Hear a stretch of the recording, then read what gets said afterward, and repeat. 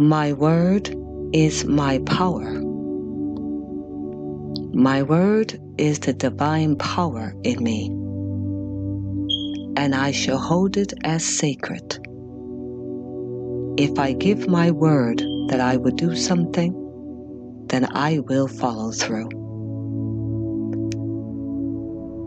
If I do not want to do something, then I will be honest and say it. I shall always be thoughtful of what I give my word to, because my word is my power. And God, Goddess, the universe, the infinite one, acts upon my word. And if I am true to my word, it will be true to manifest my intentions. I shall be honest. I shall hold my word as sacred once given, and I will follow through.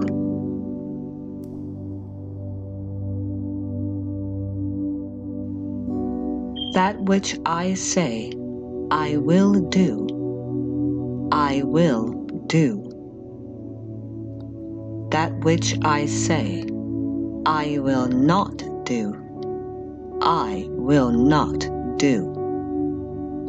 My word is my power,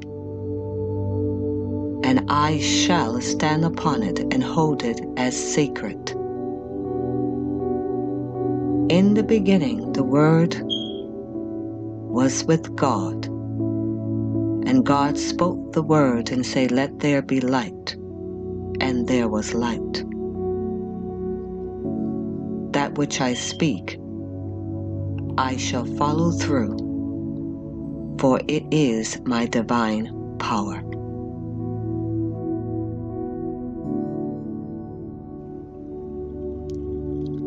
the stronger I am in keeping my word to myself and others once given, the more stronger and powerful I am with divine power. The secret is in the word. For my word call upon the universal divine to act if I keep my word, the universe trusts my word and acts upon it. It is up to me to keep my word, and divine power is more than willing to manifest that which I speak. When I give my word, what I am doing is giving an intentional promise to myself and to others.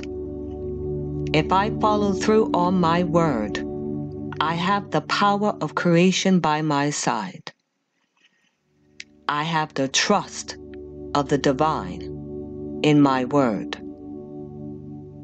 So I shall hold my word as sacred I shall be truthful and honest in its giving. And once given, I shall follow through.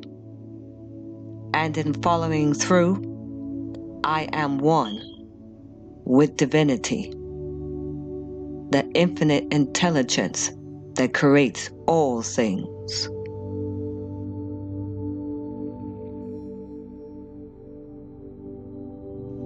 I shall be prayerfully faithful and wise in the giving of my word. For my word is powerful. I shall treat it as something sacred. Once giving, I have to follow through.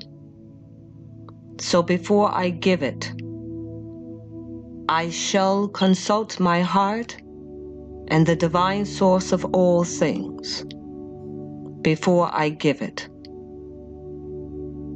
This teaches me self awareness and self responsibility. This power I will hold as sacred, for it is sacred, and I shall not transgress against myself, nor others, nor the power that resides in me in all creation. I should use my power of my given word respectfully.